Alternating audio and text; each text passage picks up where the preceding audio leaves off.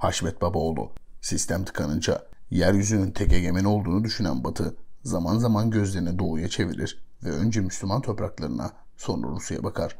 Parmağını uzatıp benim olacaksınız diye mırıldanır. Acaba yine o zamanlarda mıyız diye içinizden sorduğunuz oluyor mu? Mesela ana akım medyanın çubuklu TV yorumcuları bir kez de Napolyon ve Hitler'in Moskova seferlerini anlatsalar nasıl olurdu?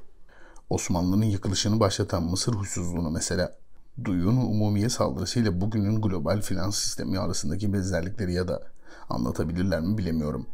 Yazımın başında anlattığım manzara Batı'nın ara ara ve manasızca bela aramaya kalkıştığını düşündürtmesin. Hayır, bir akıl çerçevesinde olur bu. Çağ dönüşümlerinde yeni dünya tasarımı için ve sistem tıkandığında açmak için nihai operasyon olarak hep Moskova'ya doğru yürünmüştür. Bazen tarihçilerin ürettikleri kurgu kişilik olduğundan şüphelendiğim Napolyon ne yazık ki bir tür magazin figürü olarak algılanır.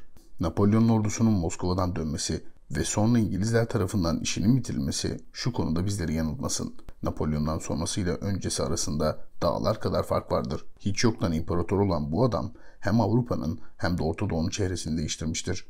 Avrupa ülkelerinin Polonya ve Ukrayna düzlüklerinde başlayacak büyük bir savaşı iten güçlerin bugün de aynı sonucu hedeflediklerinden eminim.